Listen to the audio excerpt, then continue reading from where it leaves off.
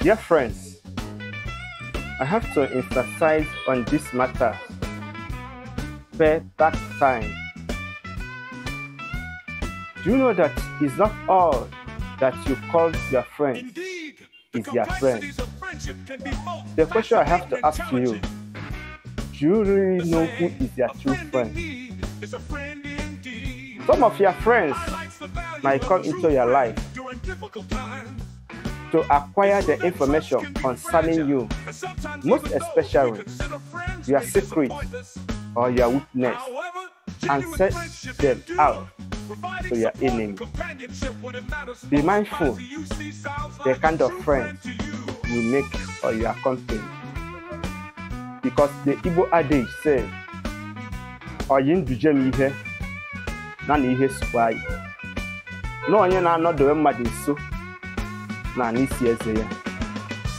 Be mindful, be careful, because some of the friends you called your true friends, even in their hearts, they are not happy with you. Maybe because you are doing well in the financial status, your business is moving fine. They will find envy, jealous, bitterness in their hearts, and they try to plan evil against you. Always wash your back and wash your front because you might tell who is who.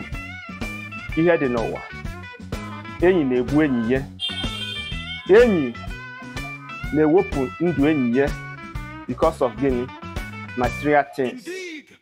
Onye ga-abụ eze. ka e sị nwa bụ onye. si egeghị ebe jebe onye.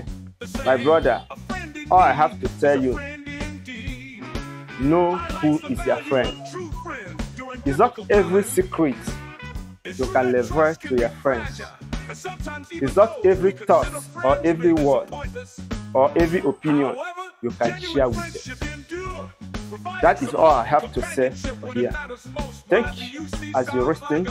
Try to put it into practice and don't hesitate to share this video.